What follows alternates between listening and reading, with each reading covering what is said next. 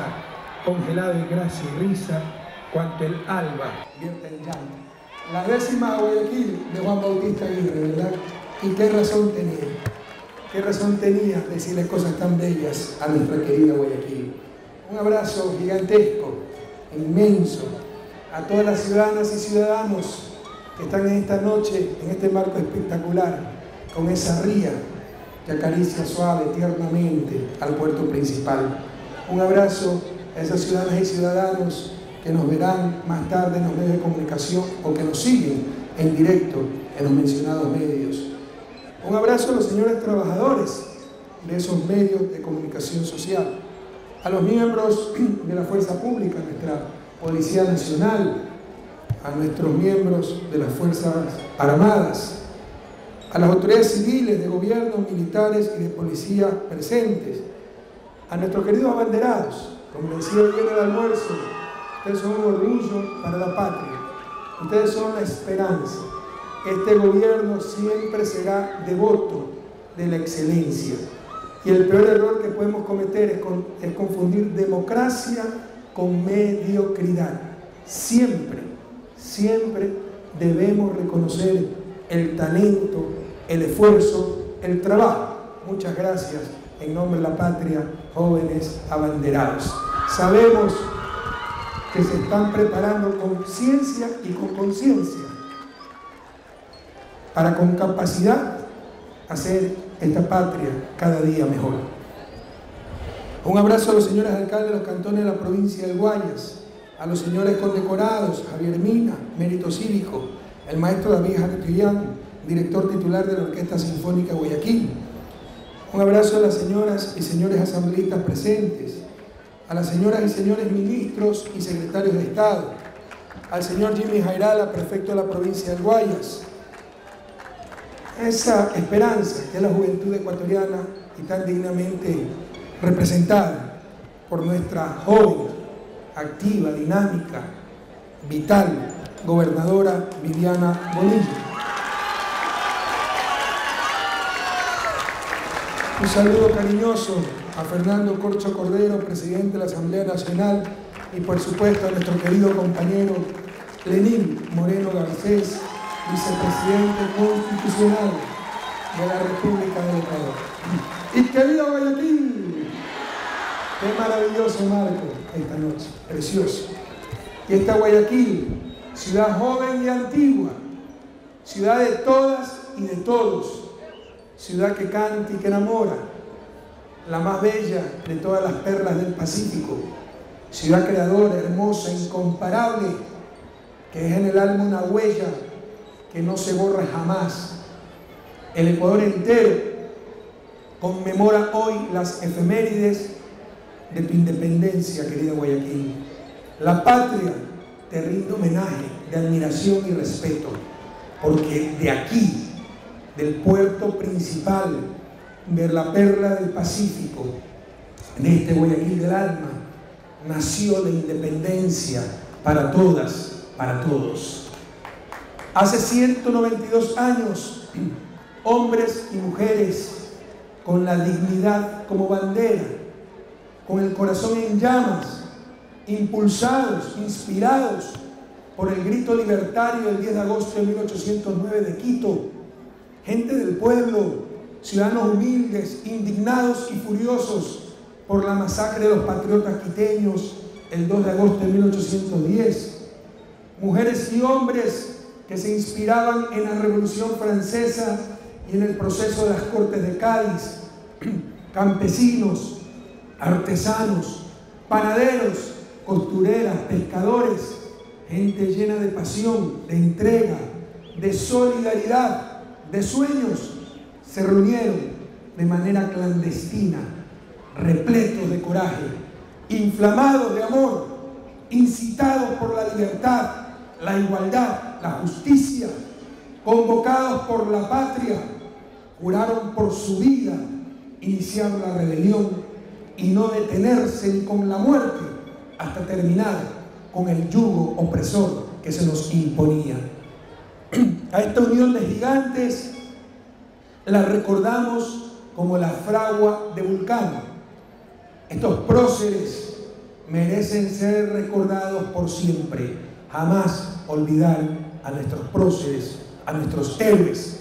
Estos próceres merecen ser recordados por siempre.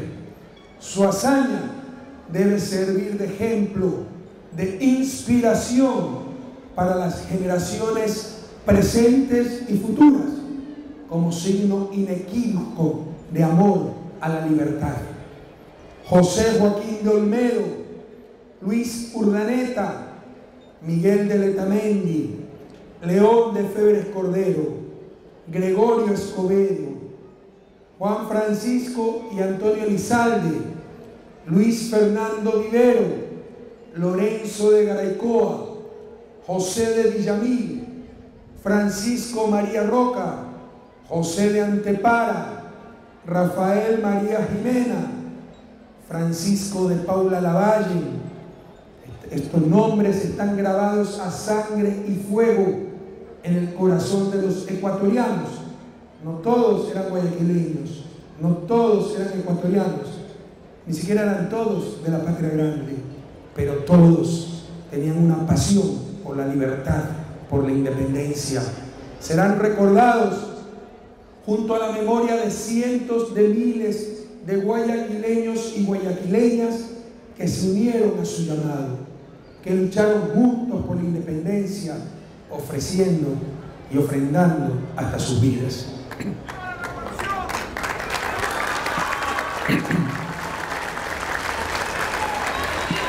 En este siglo XXI, en esta revolución ciudadana, a casi dos centurias de la proeza de la fragua de Vulcano, sentimos lleno de fervor en nuestra Guayaquil que esa semilla de libertad ha germinado y se ha vuelto carne y conciencia de mis hermanos de sangre, tierra, territorio y origen. Luego de ese glorioso 9 de octubre de 1820, Guayaquil abrió el camino de la libertad para todos los territorios de la patria. No debemos olvidarlo.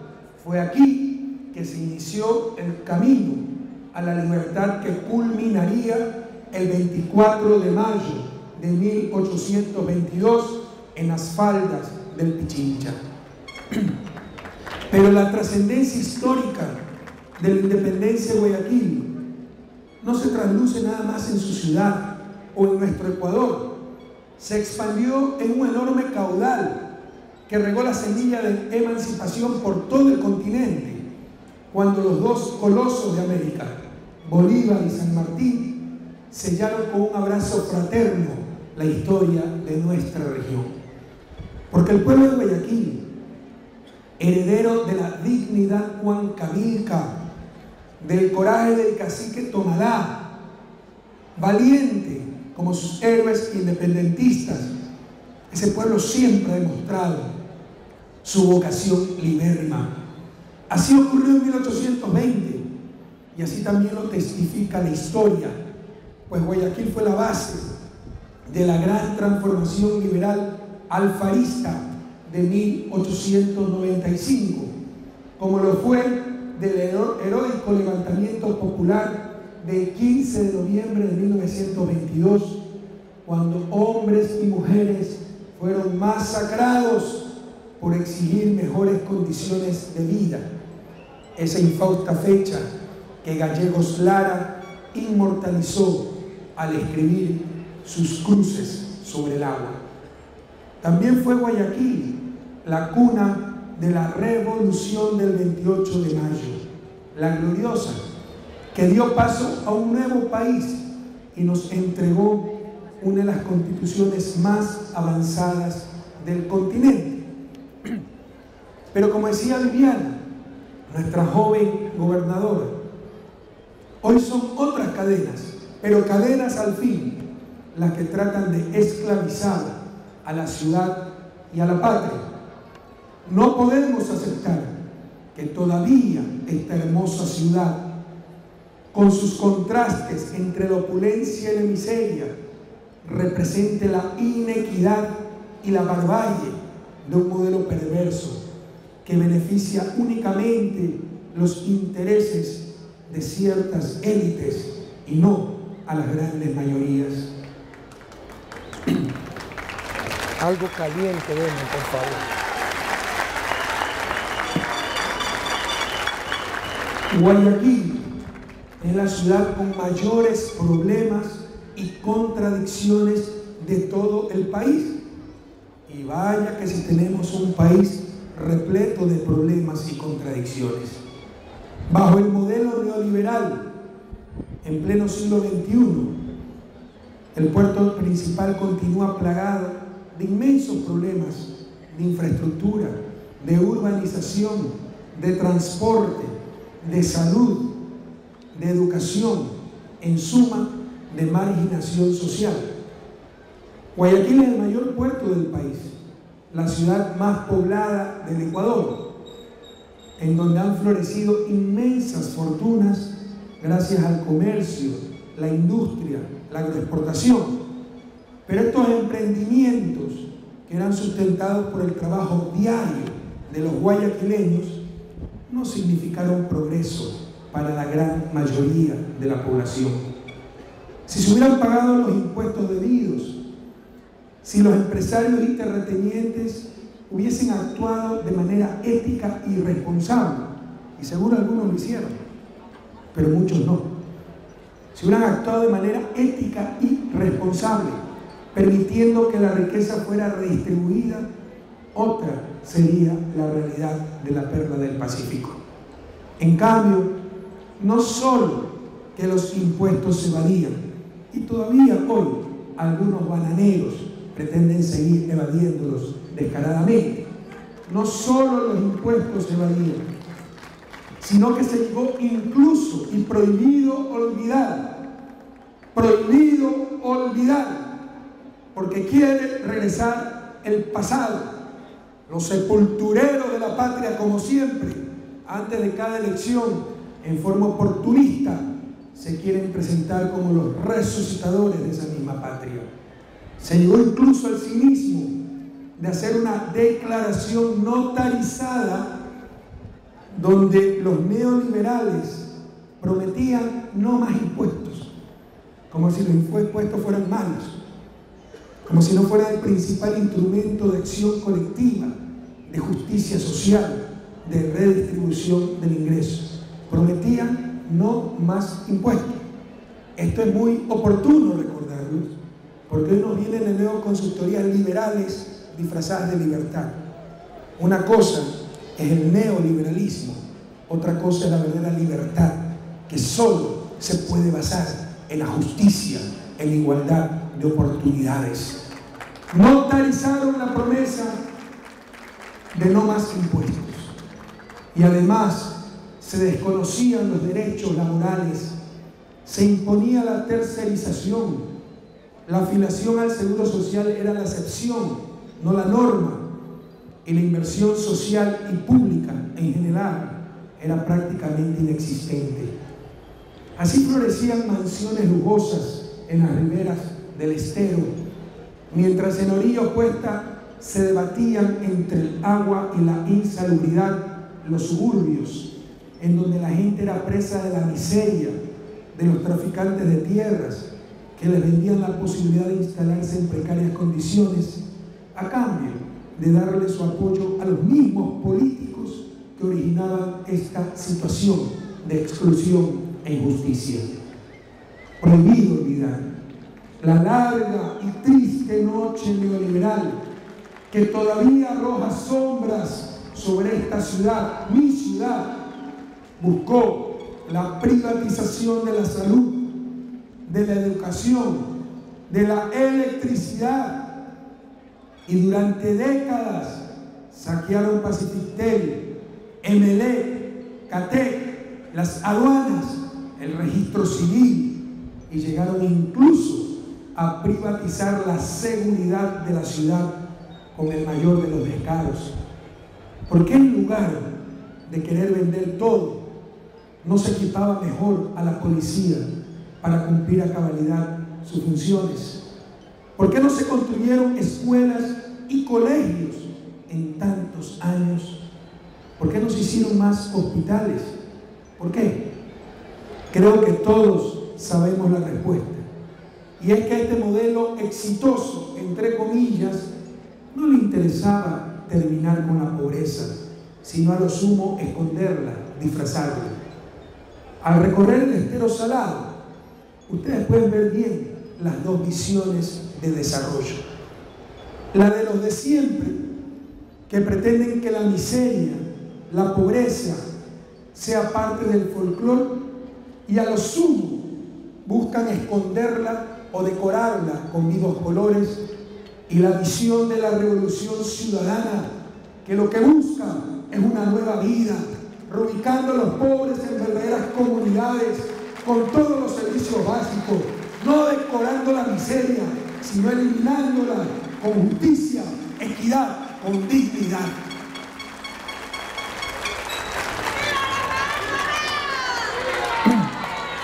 Guayaquileñas, guayaquileños, guayacenses, vamos a lograr nuestra segunda y definitiva independencia.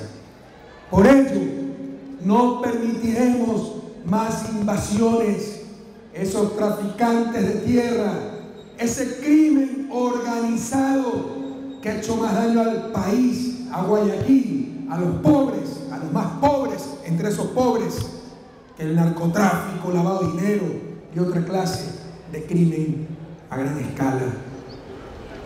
Aplicaremos en estricto apego a la ley, pero con toda firmeza los instrumentos que sean necesarios para parar esta pandemia que ha hecho tanto daño a Guayaquil, que ha hecho tanto daño a la patria entera.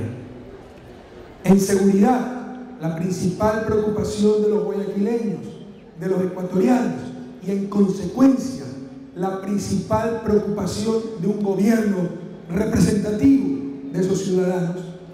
En seguridad, hasta el mes de diciembre se inaugurarán cerca de 100 unidades de policía comunitaria, estaciones de policía absolutamente funcionales para vigilancia de la comunidad en zonas claves, georreferenciales, que no implica solo nueva infraestructura, que ya es bastante, sino una nueva visión, un nuevo concepto, un nuevo modelo de policía alejado de esa policía militarizada en grandes cuarteles, distanciada de sus conciudadanos, no inmersa en los barrios, sino se trata de una nueva visión de policía desconcentrada, apoyada por la propia comunidad. Ya están dando resultados estas nuevas estrategias y estamos llenos de esperanza que obtendremos aún mayores avances en los próximos meses. El apoyo del gobierno para seguridad y justicia. Las dos cosas van de la mano. No podemos garantizarle seguridad al pueblo ecuatoriano si sobre todo jueces penales dejan en libertad a los delincuentes más rápido de lo que demoró la policía en capturarlos. El apoyo del gobierno para seguridad y justicia en Guayaquil en el 2012 alcanza una cifra superior a 94 millones de dólares y no vamos a cejar. Guayaquil es de las personas honestas, no de los delincuentes. Estamos implementando un modelo de gestión integral en el área de seguridad que aglutina los esfuerzos de la policía y las Fuerzas Armadas a través del sistema ECU 911, el más moderno de toda América Latina para seguridad integral. Prohibido olvidar los que hoy se rasgan las vestiduras por la inseguridad que vive Guayaquil y el país, son los que ni siquiera tenían pistolas para la policía, los que ni siquiera proveyeron de comunicaciones a nuestros policías, los que pagaban sueldo de miseria y con ello sembraban el germen de la corrupción en la Policía Nacional. Prohibido olvidar no se trata de hablar, se trata de actuar con eficacia, con contundencia, con manos limpias, con mentes lúcidas y corazones ardientes por Guayaquil y por la patria.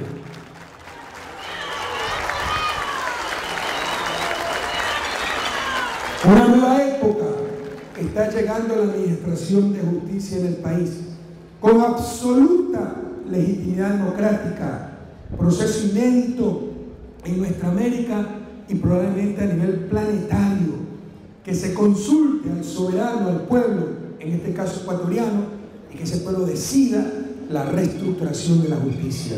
Gracias a ustedes, gracias a ese mandato ciudadano expresado en la consulta popular. Y muchas gracias Guayaquil, porque aquí vencimos categóricamente en esa consulta.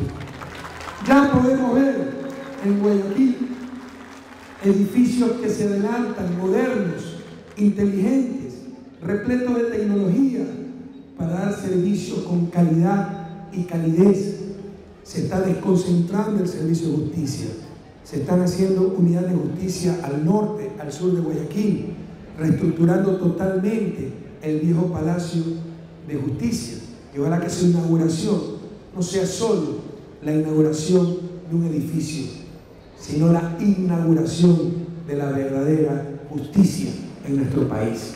Se están atendiendo causas represadas por décadas y por primera vez en la historia los jueces son elegidos por concurso nacional de merecimiento, ya no en los repartos de la partidocracia corrupta, ya no en las pichicortes, sino por concurso de oposición y merecimiento transparente que cualquier ciudadano puede seguir, controlar, verificar. Pero como la partidocracia ya perdió su botín, como los jueces se sienten amparados en una carrera judicial y ya no se someten al Tribunal Supremo, que era el poder mediático, la dictadura de ciertos medios de comunicación que legislaban, juzgaban, pretendían gobernar, ahora, paradojas de paradojas, es que no existe independencia en la justicia. Cuando antes se repartía descaradamente la partidocracia, las dependencias judiciales, los juzgados, los jueces, ahí había independencia en la justicia. Hoy, que esos jueces se eligen por concurso nacional de oposición y mérito, concursos públicos, es que se ha perdido la independencia de la justicia. ¿Quién puede digerir esas piedras de molino? Aprendamos a descifrar los códigos de la partidocracia, de la prensa corrupta, de los grupos fácticos que siempre nos han dominado. Cuando dicen que la justicia ya no es independiente, léase que finalmente la justicia ya no es de ellos, la justicia finalmente es libre, compatriotas.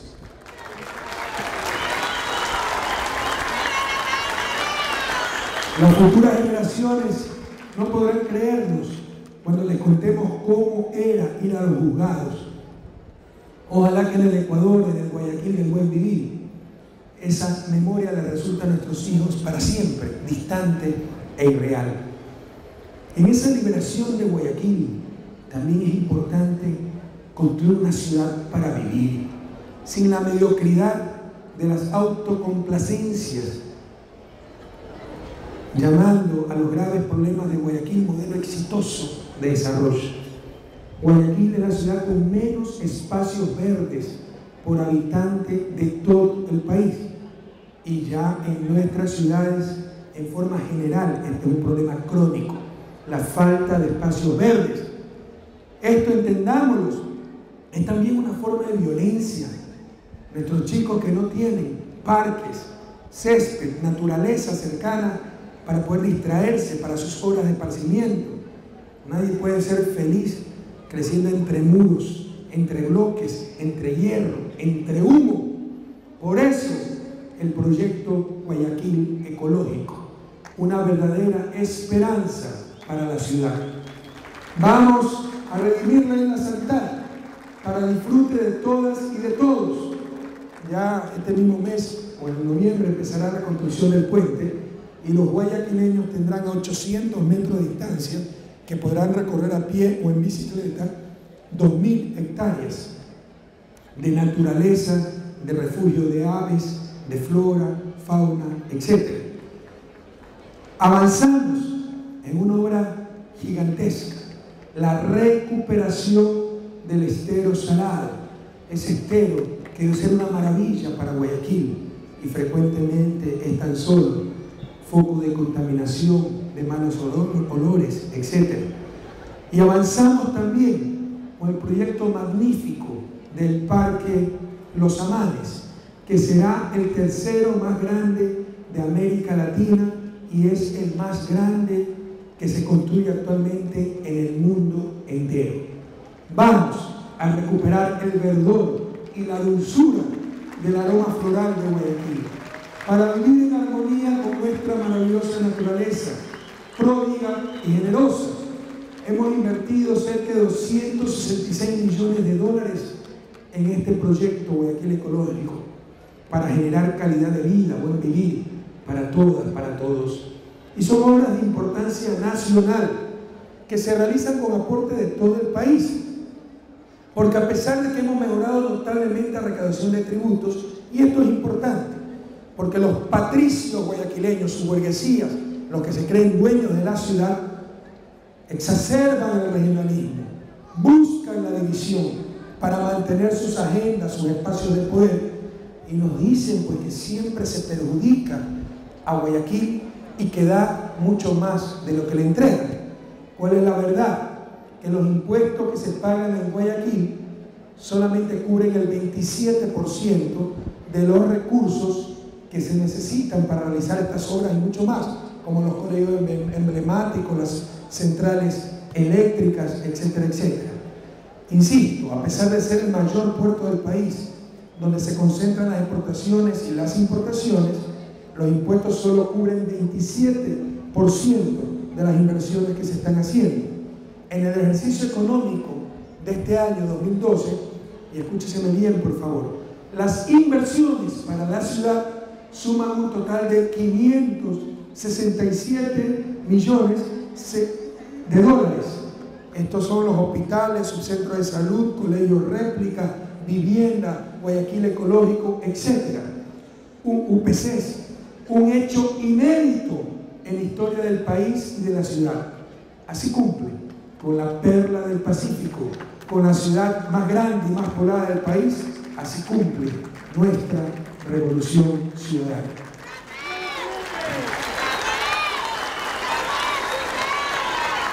Y por eso es que esta revolución se consolida y se hace cada vez más fuerte en Guayaquil, que ha pasado a formar parte de los tantos bastiones que tiene la revolución a lo largo y ancho del Ecuador.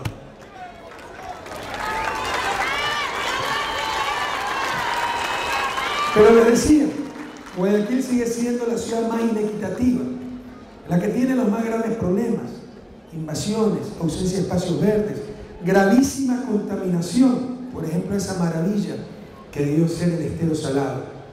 Guayaquil puede y debe ser una de las urbes más hermosas de nuestra América, ya que es privilegiada al tener esa imponente ría al tener isla, al tener cerros, al tener brazo de mar. Pero prohibido olvidar. Las mismas élites, yo también te amo, pero tienes que hablar con mi esposa en ese momento. Prohibido olvidar que viva Yaguachi, ¿ah? tierra histórica, gloriosa también. Prohibido olvidar las mismas élites, por favor, atento Guayaquil, las mismas élites que marcharon con crespones negros para defender a los banqueros que saquearon al país, son las que hoy tratan de recomponerse para volver al poder. La banca, de nuevo al poder. Jamás, eso no lo permitirá el pueblo ecuatoriano.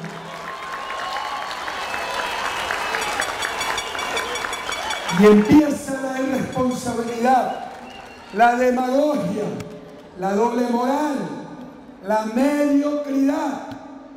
Hoy, los que criticaban los subsidios, el gasto público, el populismo de este gobierno que daba el bono de desarrollo humano, como si nosotros hubiéramos creado dichas transferencias son los que en su baratillo de ofertas proponen elevar ese bono a 50 dólares.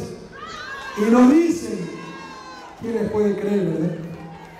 Solo había plata para el salvataje bancario, no para los pobres.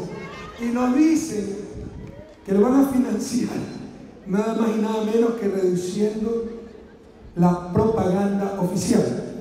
Es decir, ese incremento supera los 300 millones de dólares, mientras que la propaganda oficial se encuentra en 8 o 10 millones de dólares, siendo indispensable para la rendición de cuentas, para la competitividad de nuestras empresas públicas como CNT, etc. Pura falsa, pura mentira, pura demagogia. Pero como vemos que hay un consenso muy amplio, que la banca calla, que los analistas de derecha no dicen nada, que los medios hacen útil por el foro, que otro candidato bien conocido, eterno, también propone ese bono a 50 dólares, pues vamos a ponerlo a 50 dólares, financiándolo responsablemente con ajustes a las utilidades del sistema financiero, cuyo representante es el que realiza esta propuesta. Y si ellos callan, quiere decir que la apoyan. Pero debemos ser responsables y tener fuentes de financiamiento para el gasto permanente que se está proponiendo crear. Y supuestamente, en el otro extremo, la izquierda infantil, la izquierda irresponsable y lamentablemente la izquierda corrupta, la que cree que revolución es quebrar empresas, pretende devolver a las garras de la politiquería a nuestros jóvenes, nuestros colegios, nuestras universidades, nuestros hospitales queridos abanderados, mientras yo tenga vida, no permitiré que ustedes vuelvan a ser víctimas de esa gavilla de sinvergüenzas que utilizaron durante tanto tiempo a nuestra juventud. De aquellos que el 30 de septiembre del 2010 fueron a sacar a los alumnos de la guerra bar para ver si alguno moría de un tiro y desestabilizaban hacia el gobierno. Dejaremos todo nuestro esfuerzo hasta nuestra última gota de sudor para completar la liberación de nuestra educación, de nuestros jóvenes y que nunca más caigan en las garras de la politiquería, de la partidocracia más irresponsable, más corrupta, más mediocre.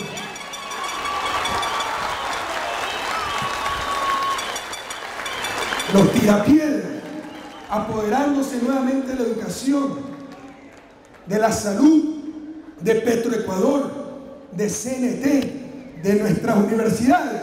Eso nunca, Ecuador querido, no lo permitiremos, venceremos. Y luego están los que huyeron al primer intento después de dejar sembrada su traición y buscan nuevamente el favor del pueblo ecuatoriano. Y los que creen que Ecuador es una más de sus haciendas bananeras. El pasado nunca más, compatriotas.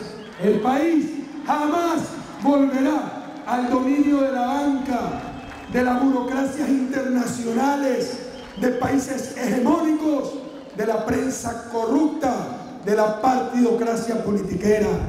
Nuestra América, que finalmente está liberándose, no retrocederá. El pasado nunca más ya nos ha dado el ejemplo esa Venezuela querida y un abrazo fraterno y la felicitación y admiración más profunda para el comandante Hugo Chávez Frías.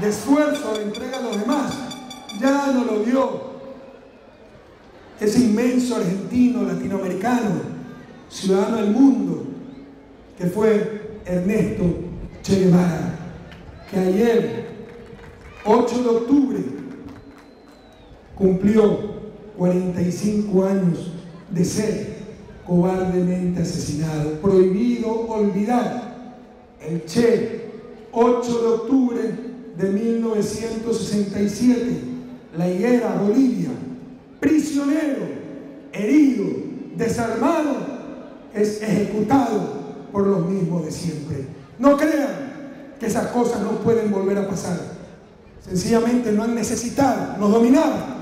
Ahora que nuestros pueblos se están liberando, pueden venir las mismas prácticas. Pero aquí nos encontrarán con ese ejemplo, con esa inspiración que fue Ernesto Che Guevara.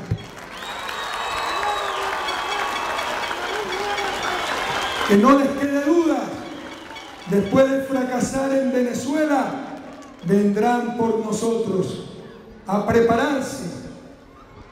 Hace un par de días hablaba con el comandante Chávez y me contaba todas las atrocidades, todas las farsas, las calumnias, las maniobras que tuvo que enfrentar interna e internacionalmente en esta campaña en Venezuela. Y la nuestra, en febrero del 2013, va a ser una campaña durísima. Ya están delegitimando el proceso, el escándalo de las firmas, donde los culpables principales no son los que falsificaron las firmas, sino el Consejo Nacional Electoral por no haberlos descubierto. Vaya descaro, que eran nuestros jóvenes abanderados ante argumentos tan sin escrúpulos y tratan de legitimar a ese consejo y así de legitimar las próximas elecciones. Y miren cómo se les derrumban las mentiras, que toda una maniobra del gobierno para ser partido único. Finalmente calificaron 11 partidos y movimientos a nivel nacional. ¿Y ahora qué dirán? ¿Y cuál será la nueva mentira? ¿Y ahora qué inventarán?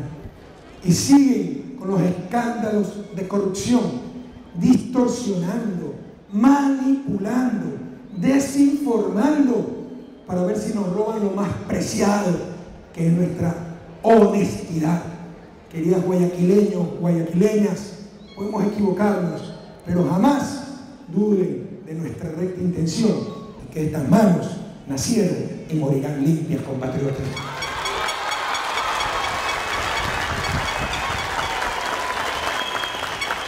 Tratarán de quebrarnos en lo personal y familiar. Ya tenemos información de aquello, en contubernio incluso con medios internacionales, cuyas mentiras serán repetidas por medios nacionales. No se preocupen, lograrán doblarnos, pero no lograrán quebrarnos. Alcanzarán a fatigarnos, a cansarnos, pero no nos rendirán. Venceremos, compatriotas. Venceremos y seguiremos soñando. Seguimos soñando con esa patria nueva. A soñar también con un nuevo Guayaquil. ¿Cómo puede ser Guayaquil? Es algo que los guayaquileños y guayaquileñas hacemos casi todos los días, porque amamos nuestra ciudad, porque la llevamos siempre vibrante en el pecho, porque durante toda la vida hemos soñado con Guayaquil sin miseria, sin suciedad, sin niños mendigando en las calles, sin asentamientos precarios en el estero, sin contaminación, sin racismo, sin abusos. Guayaquil, ciudad del cerro, de donde se combatían los piratas, ciudad de la ría, del estero, ciudad de Nis, de nuestros amores, ciudad de los larganteros, del calor amurallado, ciudad de Julio Jaramillo, de Barcelona, pero también de Melec, del astillero, de las barriadas pobres, ciudad de los incendios, de las grandes movilizaciones, Guayaquil anarquista, comunista, católica, protestante, Montubia, Chola, ciudad querendona, pacífica y alegre, orgullosa de sus ancestros, ciudad que lucha por salir de la pobreza. Querida Guayaquil, digna y altiva, esta revolución se comprometió a cumplir ante el sagrado altar de la patria y aquí estamos, para rendir cuentas al mandante, al pueblo, para decir, ciudad de mis amores, estamos cumpliendo, estamos avanzando. Felicitaciones a nuestros condecorados. Un abrazo fraterno para José Mariño, merecidamente designado con la condecoración al mérito deportivo, no puede estar presente por su destacada trayectoria como deportista paralímpico de alterofilia, quien ha participado en Atenas 2004, Beijing 2008, Londres 2012 y ha sido ganador del oro en los Juegos para Panamericanos de Río de Janeiro 2007. Su esfuerzo y coraje constituyen esas ilusiones movilizadoras que nos impulsan a superarnos. Felicidades. De aquí a la distancia recibe esa condecoración. Y la patria se enorgullece contar entre sus hijos más destacados a un sencillo hombre del pueblo, al señor Javier Mina, quien ha merecido la condecoración al mérito cívico por la heroica acción de rescatar a la niña Lorena Miranda Parrales un abrazo también a Lorenita, que está recuperando muy bien, de una caída al ducto de uno de los ascensores del hospital Abel Gilbert. Un abrazo interminable y nuestro agradecimiento imperecedero. Y la cultura y el arte son las más altas expresiones del espíritu humano, son las que nos hacen crecer el alma, las que nos tocan el corazón. Por eso aplaudimos la condecoración al mérito, artístico que se le ha otorgado al maestro David Jaratuyán Espero que pronuncie bien, no como Alberto Cortés, que nunca puedo pronunciar. En todo caso, bien hechito, porque el maestro Artuyán se llevó una de las guayaquileñas ecuatorianas más guapas, nuestra querida artista Pamela Cortés. Un abrazo a Pamelita, si está por ahí. Felicitaciones al maestro David por su trayectoria destacada como director titular de la Orquesta Sinfónica Guayaquil de hace 10 años. Un abrazo y la gratitud de la patria maestra. Nuestro agradecimiento a todos y cada uno de los familiares de quienes han sido merecedores de estas condecoraciones, sin el afecto y la comprensión de sus compañeras, de sus hijos, ninguno tendría la fuerza, el entusiasmo, la entrega suficiente para superarse más allá de sí mismos. Guayaquileñas, guayaquileños, en este día en que conmemoramos la gesta que hace 192 años nos declarara independientes del yugo español. En esta revolución ciudadana, pacífica, democrática, de elecciones libres, de verdadera libertad de expresión, que es un derecho de todos los ecuatorianos, no solo de unos negocios que se dedican a la comunicación, en esta tierra, en esta revolución de respeto a los derechos humanos seguimos en pos de los mismos ideales de igualdad, soberanía, libertad que alumbraron el espíritu de José Joaquín Dolmedo y de todos los patriotas de la fragua de Vulcano. Estamos transformando el país. Solo un necio, solo un ciego, ya no de, los ojos, ciego del alma, puede negar que el país se está transformando, que estamos avanzando en la dirección correcta. Estamos construyendo la patria grande. Estamos consolidando nuestra segunda y definitiva independencia. Guayaquil querido, ni un paso atrás y hasta la victoria siempre. ¡Que viva Guayaquil! ¡Que viva el 9 de octubre! ¡Que viva una patria altiva, libre, soberana y digna!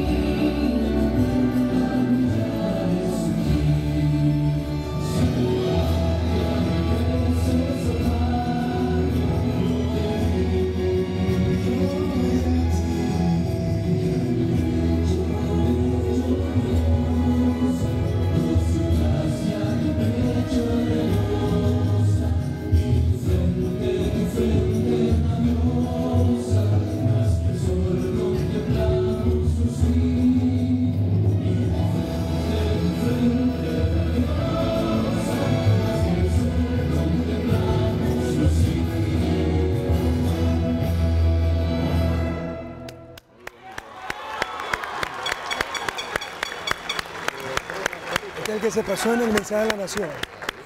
Sí, que viva el Ecuador y que viva Guayaquil. Gracias, señor presidente, por sus palabras. Y nosotros seguimos festejando a nuestra querida Guayaquil por su independencia.